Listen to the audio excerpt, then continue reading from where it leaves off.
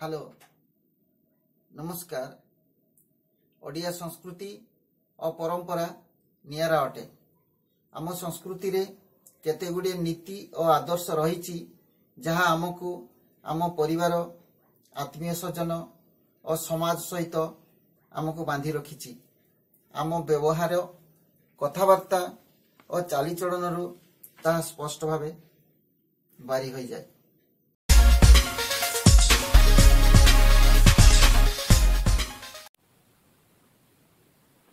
ନମସ୍କାର।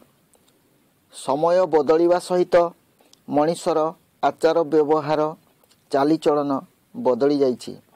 ଏହା ସହିତ ଆମେ ଆମର ସଂସ୍କୃତି ଓ ପରମ୍ପରା ଠାରୁ ଦୂରେଇ ଯାଉଛୁ। ଏହାଦ୍ୱାରା ସମାଜରେ ବିଭିନ୍ନ ଅସାମାଜିକ କାର୍ଯ୍ୟ ବଢ଼ି ଚାଲିଛି। ଆଜି କେହି କାହାକୁ ମାନିବାକୁ ନାରାଜ।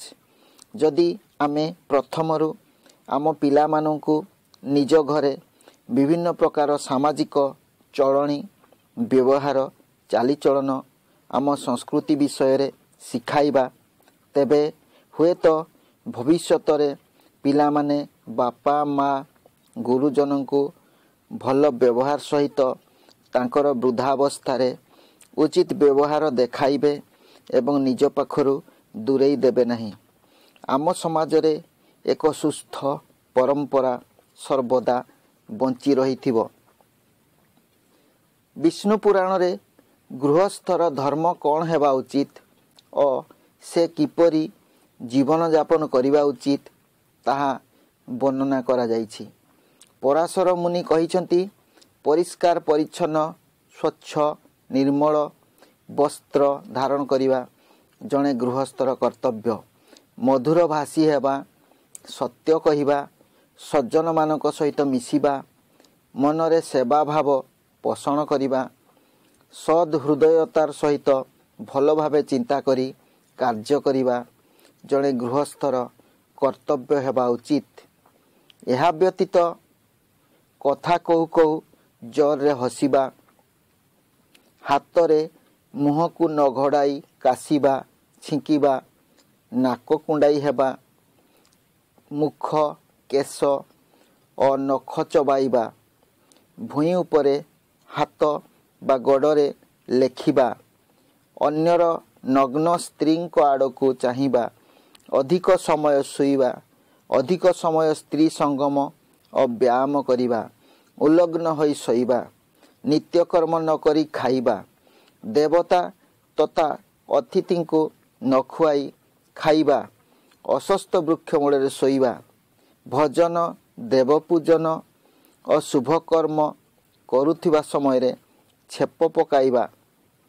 ଦେବତା ପୂଜନ କାଳରେ ସୂର୍ଯ୍ୟ ବା ଚନ୍ଦ୍ରଗ୍ରହଣ ଲାଗିବା ପରି ଅଶୁଦ୍ଧ ସମୟରେ ଭଜନ କରିବା ଇତ୍ୟାଦି କୁକର୍ମ ଅଟେ। ଏହି ସମସ୍ତ ଆଚରଣ ଜଣେ ଗୃହସ୍ଥ କରିବା ଉଚିତ ନୁହେଁ। ସେହିପରି ଜଣେ ଉତ୍ତମ ପତ୍ନୀର ଲକ୍ଷଣ ହେଉଛି ଯେଉଁ ନାରୀ ସର୍ବଦା ପତିବ୍ରତା ହୋଇଥାନ୍ତି ଓ ପତିର ଦୁର୍ଗୁଣ ବାହାରେ ପ୍ରକାଶ କରନ୍ତି ନାହିଁ।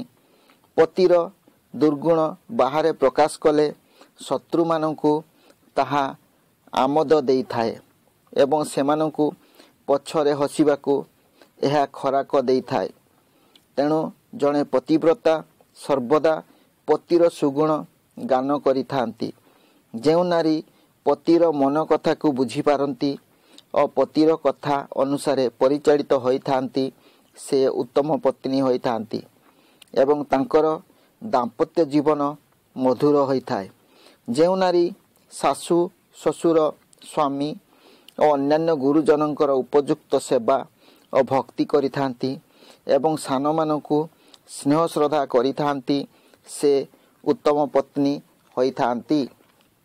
ଯେଉଁ ନାରୀ ସମସ୍ତଙ୍କୁ ଖାଇବାକୁ ଦେଇସାରି ସ୍ୱାମୀଙ୍କ ଚଲାବାଟକୁ ଚାହିଁ ବସିଥାନ୍ତି ଏବଂ ସ୍ୱାମୀଙ୍କ ସହିତ ଏକତ୍ର ବସି ଖାଦ୍ୟ ଖାଇଥାନ୍ତି ସେ ଉତ୍ତମ ପତ୍ନୀ ଅଟନ୍ତି ଏବଂ ସେ ଉତ୍ତମ ଦାମ୍ପତ୍ୟ ଜୀବନ ଲାଭ କରିଥାନ୍ତି। ଯେଉଁ ନାରୀ ସମସ୍ତଙ୍କୁ ମିଠା କଥା କହିଥାନ୍ତି ବିଶେଷତଃ ସ୍ୱାମୀଙ୍କ ମନ ଜାଣି କଥା କହିଥାନ୍ତି ଏବଂ ପିଲାମାନଙ୍କର ଉପଯୁକ୍ତ ଯତ୍ନ ନେଇଥାନ୍ତି ସେ ଉତ୍ତମ ପତ୍ନୀ ହୋଇଥାନ୍ତି। ସେ ନାରୀଙ୍କର ଦାମ୍ପତ୍ୟ ଜୀବନ ଖୁବ୍ ମଧୁର ହୋଇଥାଏ। ଯେଉଁ ନାରୀ ସର୍ବଦା ସ୍ୱାମୀଙ୍କ ଦୁଃଖରେ ଦୁଃଖୀ ଓ ସ୍ୱାମୀଙ୍କ ସୁଖରେ ସୁଖୀ ହୋଇଥାନ୍ତି ସେ ଉତ୍ତମ ପତ୍ନୀ ହୋଇଥାନ୍ତି।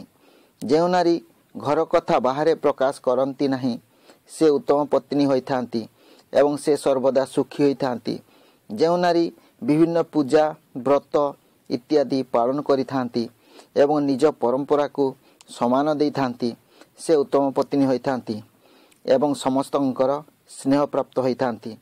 ଯଦି ଭିଡ଼ିଓଟି ଆପଣଙ୍କୁ ପସନ୍ଦ ଲାଗିଲା ତେବେ ନିଶ୍ଚୟ ଲାଇକ୍ କରିବେ ଏବଂ ସବସ୍କ୍ରାଇବ୍ କରିନଥିଲେ ଏହିପରି ଭିଡ଼ିଓ ଦେଖିବାକୁ ସବସ୍କ୍ରାଇବ୍ କରିବେ। Thanks to watch my video